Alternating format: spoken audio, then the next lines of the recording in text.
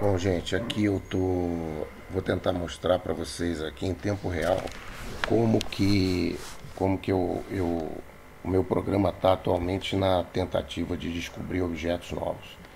Então vou mostrar aqui para vocês mais ou menos como é que tá. É, a primeira coisa que a gente faz é aqui do lado esquerdo, essas são fotos que eu tirei ontem, né? Eu ainda nem vi, então vou ver aqui agora. É, então eu pego uma foto dessa aqui, que eu tirei com C14, né? F1.9, é o dia de ontem, 4 de maio. Ah, essa aqui é a posição, né? 13 horas 36 e 42 menos 35, 52, 54. E aí a primeira coisa que eu faço é, é dizer que eu quero checar asteroides, variáveis e galáxias e mandar executar. Então aí ele agora, como vocês podem ver aqui no canto, ele está carregando é, do, do MPC, né? As posições, ele detecta qual é o, a posição da, da, da tela, ele já detectou dois asteroides aí. Então ele detecta a posição da tela e da, da, da, fotografia e acha os asteroides que estão e cometas conhecidos estão naquela região. Então aqui ele já pegou algumas variáveis, né? ele está calculando agora as galáxias que você pode ver aqui. Enquanto isso, eu já pego aqui, abro o meu browser aqui, vou na VSO, né? E já, para vocês terem uma ideia, ele já gerou automaticamente os dados que eu mando para a VSO. Então, a, a, minha base de dados, ó, aqui são as galáxias que ele detectou, eu vou mostrar um pouco depois mas ele vamos aqui na VSO, aí eu pego aqui upload e vou selecionar aqui uma um, um, conjunto de arquivos e aí mando. Se as variáveis são conhecidas, então vocês veem aqui, ó, essa variável V1189 Centauro, ela ainda não tem na base da VSO. A minha base é sempre mais atualizada, né? Então essa aqui ainda não tem registrada lá. Aí eu simplesmente arranco ela, o programa já gera automaticamente o formato do, do arquivo correto, né? De tal forma que eu já mando aqui e ele já sapeca aqui na VSO, quer ver? Tá aí, ó. Então já vou submeter a observação. Bom, observado a variável que estava nessa fotografia, aquele conjunto enorme ali que vocês viram é o conjunto de galáxias que ele detectou. Agora a gente vai começar a checar. Então ele botou aqui as galáxias, eu vou visualmente. Isso aqui é uma das formas que eu tenho de checar. Isso aqui é porque a galáxia está na borda da foto e aí ele não pega direito. É, eu vou andar uma por uma e o que a gente vê aqui, ó, eu vou botar aqui para a gente pegar fotografias em infravermelho, ao invés de fotografia no filtro vermelho, porque existem muitas estrelas de infravermelho e o CCD ele, ele é muito sensível ao infravermelho. Então isso aqui a, a fotografia fica mais fiel. Bom, aí eu vou descer aqui nas galáxias, né? E vou e vou tentar montar aqui para vocês verem. Ó, aqui à esquerda aparece a minha foto. Ali à direita aparece a foto do, do DSS. E com isso a gente faz uma. Isso aqui é uma forma que eu tenho é, inicial de checar todas as galáxias do campo e verificar se tem alguma coisa estranha, um objeto diferente e tal. A gente vai observando aí vai vendo que não tem, né? Isso aí numa fotografia vocês veem uma quantidade imensa de galáxias que a gente detecta, né? Então eu vou continuar descendo aqui. Enquanto isso, eu vou mostrando alguns detalhes para vocês aqui. Vocês observam aqui por esse número aqui, ó que eu já tenho no meu catálogo aqui, ele já detectou 25 milhões de objetos. É, só de eu ficar futucando, né? Ele vai mostrando aqui, dizendo que a magnitude limite dessa minha fotografia foi de 20.21, com exposição de 4 minutos 240 segundos, uma, um Hermes de 1.07, quer dizer, estava olhando quase no zenith, né? A magnitude máxima que eu consigo é, fazer fotometria nessa imagem é 12.79. Qualquer objeto mais brilhante do que isso ele vai mostrar erro, né? Isso aí é o cálculo, né? É, a máxima, o zero point é 21.73, né? Que é o equivalente a, a um fóton por, por pixel por segundo, né? Na, na imagem. E ele vai mostrando aqui na sequência as galáxias. Então estou só observando aqui vocês veem que a quantidade de galáxias aqui é muito grande, mas vamos lá, né? De repente aparece alguma coisa aí. É, às vezes aparece umas meio fora de posição, porque isso é um bug que eu tenho que ajustar ainda, que quando a foto está no canto da fotografia ele não está ele não tá mostrando direito. É... E aí a gente continua vendo aqui. Isso aqui é uma forma que eu fiz de, de conferir, porque apesar de eu ter vários processos automáticos de checagem de objetos novos, Às vezes tem supernovas que estão tão próximo do núcleo da galáxia que os programas têm dificuldade de detectar isso. Então eu não me incomodo de fazer uma inspeção visual, já que, já que é rápido e por mais galáxias que tenham, por exemplo, aqui, opa, ali tinha um negócio parecido, mas não, não. Aqui, ó, vocês veem aqui, ó, que aqui poderia significar isso aqui uma supernova, né? Mas pela minha experiência aqui não é não. É... O, esse conjunto de galáxias aqui é na constelação de Centauro. É um aglomerado de galáxias Centauro. Se eu não me engano, está a uns 300 milhões de anos-luz de distância. Então, cada galáxia dessa deve ter ao redor disso. Tem algumas que podem estar a mais, né? Então, cada galáxia dessa tem, em média, tipo 100, 100 bilhões de estrelas. Então, vocês imaginam que o universo realmente é um negócio é, inimaginável de, de, de tamanho, né? Então, cada galáxia dessa tem 100 bilhões de estrelas, com muitos bilhões, muitos trilhões de planetas, né? E talvez até vida como a nossa aqui, né? A gente ainda hoje não sabe se isso é comum ou se isso é raro, né? Até agora a gente não encontrou nenhuma evidência de vida fora da Terra, apesar da expectativa ser grande de que isso vá acontecer, né? É, então aqui nas galáxias a gente não está vendo nada, né? Está chegando na última, tá ok? Chegou na última. E é o processo seguinte que eu faço é o seguinte: eu, eu digo que eu quero magnitudes com diferença do catálogo superior a 2.5 e eu mando ele pegar de todas que ele viu quantas tem. Então, de 8.521 objetos que ele detectou na foto, quatro ele achou que a fotografia não bate, a, a fotometria não bate com, a com o que estava. Aqui no caso, é o mais comum é que sejam estrelas brilhantes, né? Ou às vezes são estrelas que se movimentaram, porque elas têm movimento próprio, e ele detecta uma outra que estaria por trás. Bom, aqui não tem nada, a gente viu que não tem nada. Vamos agora aqui para detectar objetos que ele simplesmente não identificou. Então ele não identificou 33 objetos em 8.521. A maioria aqui vai ser erro de flat, porque eu, eu tinha que ter feito um flat, mas eu não. Como eu chego à noite aqui, às vezes eu não tenho tempo de de fazer o flat. Então, às vezes, tem uns erros aí. Então, ele achou 20, 33 objetos espúrios que normalmente ele não acharia, né? Então, isso aí eu tenho que mudar lá. Quando tirar fotografia, é só preparar um flat. Mas, às vezes, ele pega aqui uma, uma estrela com movimento próprio grande, né? Isso significa o quê? Que entre a fotografia que foi tirada e o catálogo e hoje, ela já andou um pouco no céu. E aí ele detecta como se aquilo é, não tivesse fosse uma estrela nova, né? Então, é, isso a gente visualmente, se aparecer aqui, vocês vão perceber que é muito fácil de, de checar, né? Então, ó, já estou na 23 aqui, pá, aqui só tem ruído. Isso aqui é tudo. Isso aqui também eu vou fazer uma modificação no programa, que eu acho que eu consigo reconhecer quando é um ruído desse e quando é estrela, né? Só que eu ainda não, não modifiquei. É, esse aqui aparentemente não tem nada. Aí eu pego o arquivo, a imagem, e aí eu pego uma outra. Então eu vou pegar aqui uma outra, eu vou tentar pegar de um hit Cretin, em vez do em vez daquele. Então vou mandar executar o mesmo processo, né? Então aí estou pegando o hit Cretin aqui, né?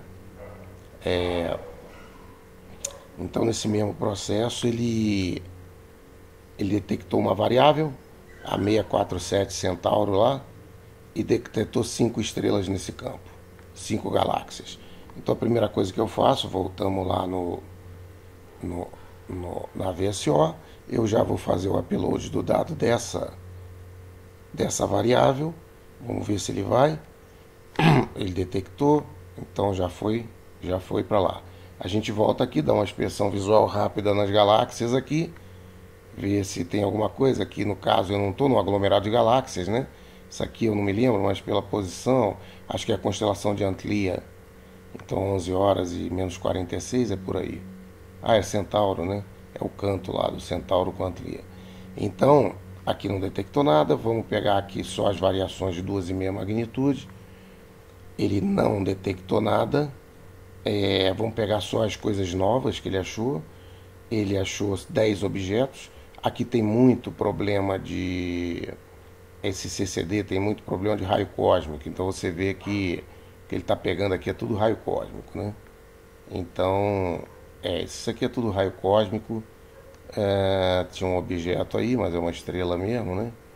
É, aqui é raio cósmico. Hum...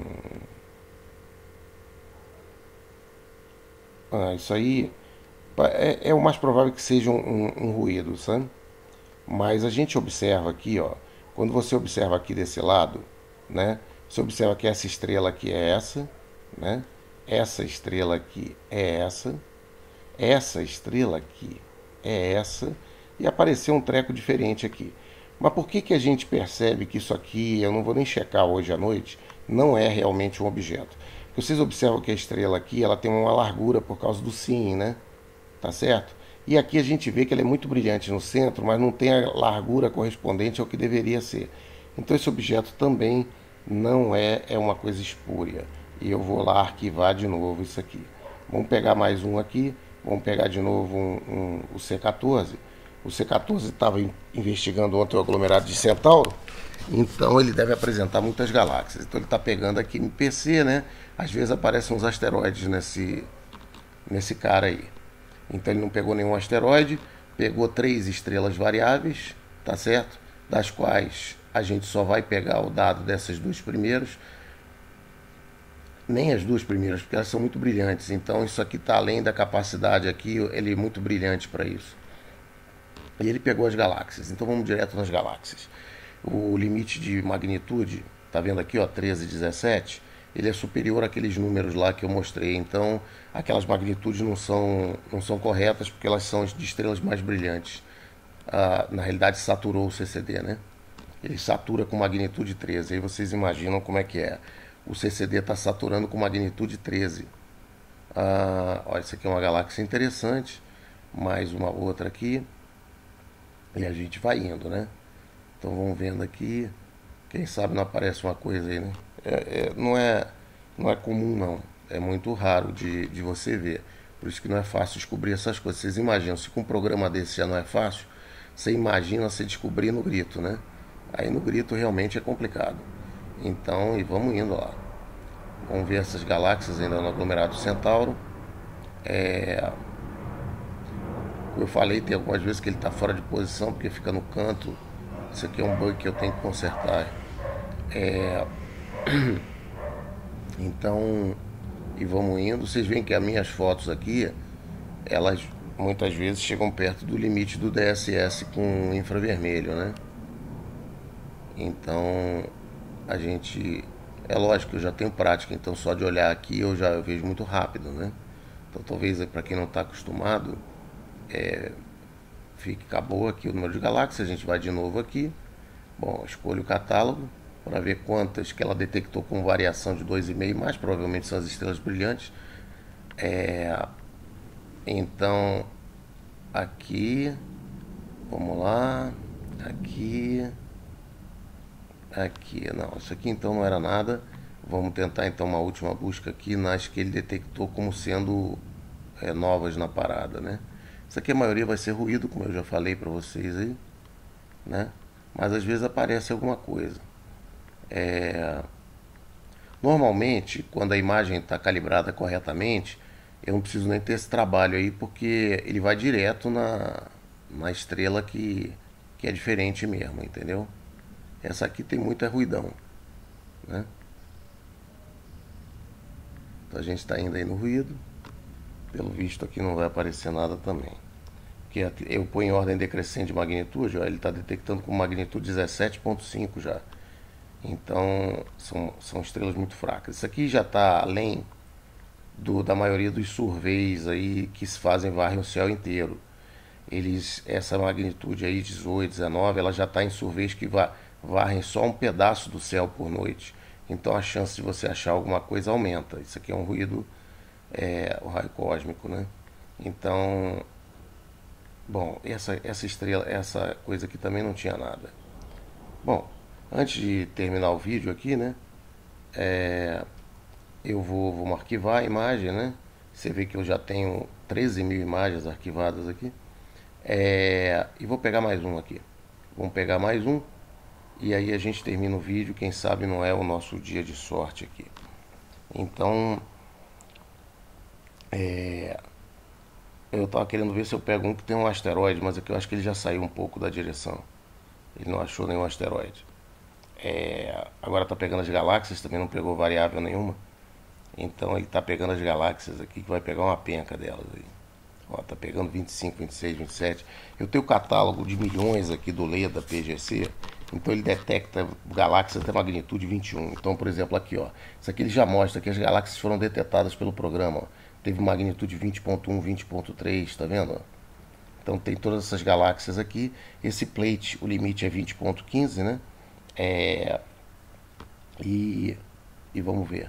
Então, essa primeira galáxia, nada de diferente nela, nem na outra, nem nessas outras aqui que você vê que elas são anônimas, né? Elas têm o nome de PGC. Essas aqui, pela minha experiência, elas devem estar mais por volta de entre 700 milhões de anos-luz de distância a 1 bilhão de anos-luz de distância, pela magnitude delas e pelo tamanho, né? Algumas mais, essas maiores assim, elas normalmente estão em torno de 300 400 milhões de anos-luz de distância, nessa região do céu, né, que é o aglomerado de galáxias do Centauro. Esses aglomerados, ó, você vê, essa galáxia aqui é muito interessante. Ó. Essa aqui, vocês veem que é uma galáxia de baixa concentração. Se ela tiver um buraco negro no centro, provavelmente é um buraco negro é, bem pequeno. Talvez essa galáxia não pertença até ao grupo do Centauro. É, bom, e vamos lá. E tem mais uma penca aqui de galáxias aqui. Então vocês veem que em uma fotografia eu tiro sei lá quantas fotografias de galáxias. Se você pegar olhar visualmente essas fotos, você não vai ver essas galáxias. Você vai ver uma ou outra, porque você não vai distinguir, né? Então a gente a gente distingue porque tem o catálogo aqui, né? O que facilita a gente de visualizar as, os objetos, né? Então, é, bom, Aqui vamos lá continuar. Vamos continuando, né? É, ó, essa galáxia aqui é interessante, né? Uma galáxia esférica. É, bom, acabou. Vamos tentar mais um aqui, ver aqui de magnitude se ele pegou alguma. Porque esse aqui, quando eu pego isso aqui, é para pegar uma estrela nova, por exemplo, né? É uma estrela que já aparecia no catálogo, então vocês observem aqui, ó. Essa estrela aqui, por exemplo, que está aparecendo aqui, ela está ela tá das duas uma, ela não está sofrendo um outburst porque vocês veem essas outras aqui que estão mais ou menos no mesmo brilho. Essa aqui, ó, é que está fraca e mais fraca que isso significa que ela deve ser uma estrela mais azul. Então ela é mais, ela é mais, ela é mais fria, né? É, é mais quente, desculpe, porque porque a gente observa no infravermelho ela é muito mais fraca, né? É, e aqui ela não ela não pegou o brilho aqui proporcional. Bom, Pode ser isso. Talvez seja um pouco azul, não sei. Bom, aí vamos, vamos pegar essa aqui e vamos tentar ó, 33 objetos. Também vão aparecer aqueles, aquela chatice do, do ruído aqui, né? Bom, eu isso aqui é só para vocês terem uma ideia. Bom, o programa tem muitas coisas. Eu, opa, opa, apareceu uma coisa aqui mas a gente vê que isso aqui é uma estrela de alto movimento próprio. Por quê? Porque observa, ela era essa aqui, ó. Tá vendo aqui, ó? Ela andou ó, esse pedacinho. Porque se eu observasse essa estrela aqui, ó, e uma outra aqui, eu saberia que era um objeto novo. Como ela desapareceu daqui e apareceu aqui, ela é simplesmente uma estrela com alto movimento próprio que eu marco aqui com o High Proper Motion. E ele já vai para o próximo. Então eu posso pegar aqui, por exemplo, ó, de todas as observações que eu já fiz, né? Então vamos lá. É, eu vou mostrar para vocês então algumas consultas que eu tenho aqui no programa, né? Então vou dar um exemplo para vocês aqui. Ah, deixa eu terminar aqui essa, essa busca básica aqui, que eu vou mostrar algumas características que o programa faz. É, vamos ver. Vamos ver. Hum, bom, eu já fiz vocês perderem 20 minutos da vida de vocês aqui, né? É, vocês veem que é um negócio que, que acaba sendo demorado, né? Não é uma coisa é, trivial. Mas isso aí depende tudo de como você quer fazer a conferência, né? Eu que estou fazendo a conferência com mais detalhe aqui. Mas, por exemplo, eu posso pegar aqui, entre os objetos, eu posso pegar uma lista de objetos suspeitos, por exemplo. Então eu pego um objeto desse aqui e visualizo. Né? Vamos ver que objeto suspeito era esse. Ó, vocês observem aqui, ó, que esse objeto suspeito na realidade ele existia. Está invertido aqui, eu posso inverter a imagem, né? Inverter a imagem. E vocês veem que tinha uma estrela ali. Então esse objeto não é tão suspeito assim. Deixa eu pegar um outro aqui que possa que po... isso aqui é tirado em outro dia com outra com outro, ó. Esse aqui esse aqui já é estranho mesmo. Então, por exemplo, olha só. Aqui, ó. Vocês observem que apareceu um objeto aqui que não aparece na foto. Aí como que eu faço para checar o que, que é isso aí, né? Então, isso, ó, pela posição aqui, a 15 horas e menos 59, isso aí é lá para a constelação de Ara, alguma coisa assim. Então, o que, que eu faço? Isso aqui foi uma foto tirada. Que dia foi? Foi dia 28 de abril, tá vendo? Foi há poucos dias atrás, né? Então, esse objeto aqui, que eu nem sei o que, que eu fiz, não me lembro lá o que, que foi, eu vou no WISE aqui e vejo se é um objeto infravermelho recente. Aí ele abre já na posição para mim, no WISE, para eu ver se tem uma estrela lá. Aí a gente vê que tem, tá vendo? Então a gente vê que exatamente no meio tem uma estrela super infravermelha aqui. Então uma das razões que acontece é o seguinte: essa estrela não aparece aqui nessa foto, talvez por ser uma estrela de alto movimento próprio, que eu não estou identificando qual dessas outras é, mas quando eu vi no WISE, né, voltando lá, né, que é um survey infravermelho, é, eu já vi que tem uma estrela hiper brilhante. Você vê que conforme o infravermelho vai aumentando, ela vai ficando infra... Então isso aqui é uma espécie de anã marrom. É uma estrela que de fato ela é tão vermelha, ela é infravermelha. Se eu botar aqui para ver no azul, por exemplo, vamos ver se aparece alguma coisa aqui. Se eu botar o azul, não, ele não conseguiu carregar nessa região. Vamos pegar o vermelho. É... Pegar o vermelho aí. Não, também não tem.